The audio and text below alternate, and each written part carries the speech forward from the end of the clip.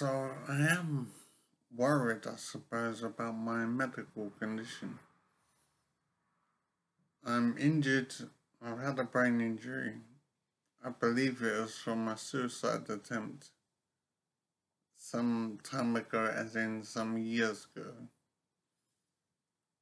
I'm confused because I have memory loss due to the injury. So um, it's a mystery to some extent, and I'm trying to guess and put my life together.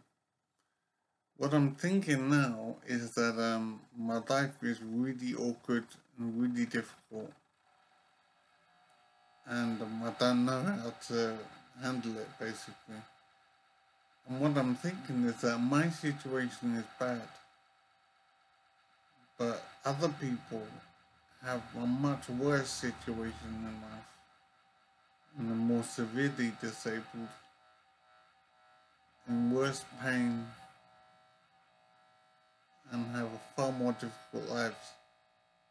And I'm amazed at what some people have to go through. Because I know how difficult things are for me, how much of a struggle everything in life is. And to think it could be much worse is just insane. I just cannot understand how it's possible for some people to manage their lives. And it is amazing what some people find a way to handle in their lives. It's brilliant. And I, I do sympathize with people because life can be crazy